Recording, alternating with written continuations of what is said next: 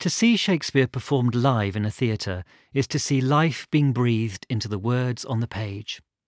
All productions are a new work of art in their own right, and we should resist being tricked into thinking that we are ever seeing the play as Shakespeare himself intended it.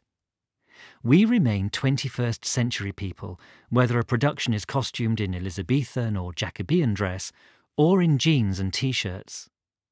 What matters most is how well the story is told whether we believe what the actors are saying, what we are being invited to think about, why a particular production is taking place now, and why it is as it is.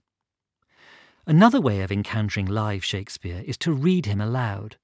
Try whispering Sonnet 73, then speak it at your own conversational volume, then read it again and look out for who is involved in the poem, its images, vowel sounds, and consonants.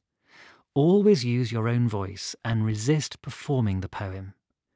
Which words in each line complement or contradict one another? Pay attention to personal pronouns. Allow the last word of the line to resonate a little in suspension. Recognize the architecture and progression of the poem and just speak it intimately, like pillow talk. Try going for a short walk between readings perhaps repeating the most memorable phrases, or take a copy of the sonnet with you.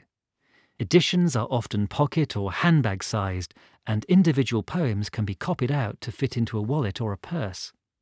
You might like to read it to a friend someday.